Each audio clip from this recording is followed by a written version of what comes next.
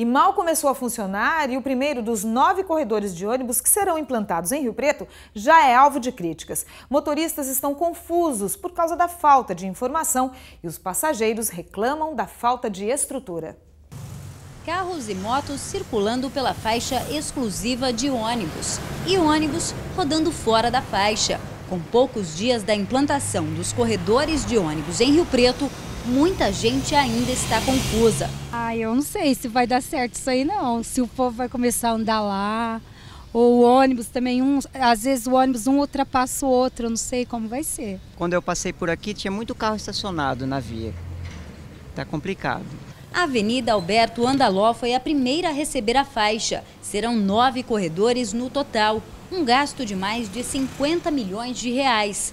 De segunda a sábado, das 5 às 8 horas da manhã e das 4 e meia da tarde às 7 e meia da noite, a circulação é exclusiva para os veículos de transporte coletivo. Fora destes horários, o trânsito é livre. Os motoristas aprovaram a mudança. Eu achei bem interessante, né? Em relação ao trânsito, vai melhorar bastante. De acordo com o projeto dos corredores de ônibus, todos os pontos devem ser cobertos e garantir algum conforto para o usuário. Além disso, as calçadas devem ter acesso para o cadeirante e guia para o deficiente visual. Mas em muitos pontos que vimos aqui pela Avenida Alberto Andaló, só o que encontramos para mostrar que aqui é uma parada de ônibus é mesmo a placa de sinalização.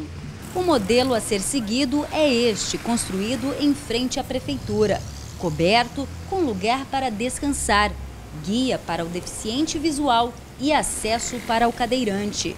Embora não tenha sido ainda absolutamente concluídas as obras, mas todos os corredores e, e todos os pontos de ônibus transporte coletivo terão o mesmo formato e o mesmo conforto. Outra reclamação é sobre a sinalização. Alguns acham que ainda é insuficiente e algumas placas teriam sido instaladas atrás de árvores e postes, como esta. De qualquer maneira, o motorista deve ficar atento, já que a fiscalização e as multas devem começar no próximo mês.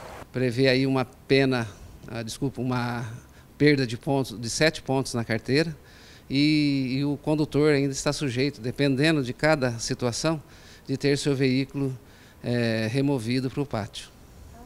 A previsão da Prefeitura de Rio Preto é de que até o fim de março do ano que vem, as obras de todos os corredores de ônibus sejam totalmente concluídas.